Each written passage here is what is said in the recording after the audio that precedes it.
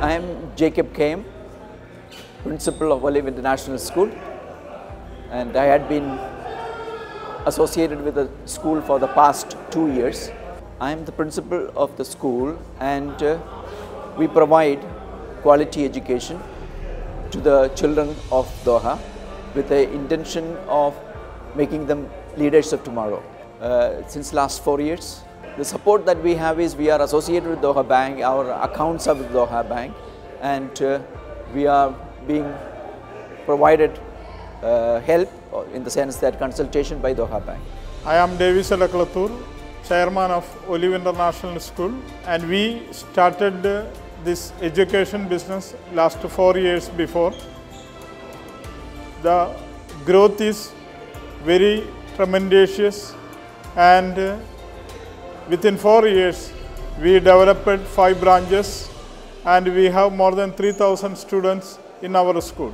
We are very happy to Doha Bank and their service and support and financially and morally they are guiding us to the all the financial support to the our school and we thank you very much especially for the leaders of the all Doha Bank and their especially the SME department to give the support for the Olive International School their education sector.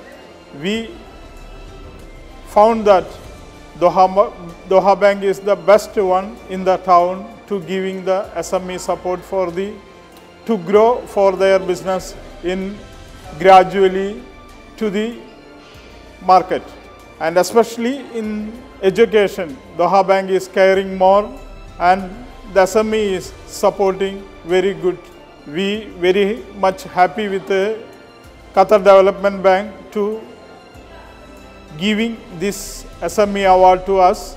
And we will be more cautious to develop to our school and give moral education to the children.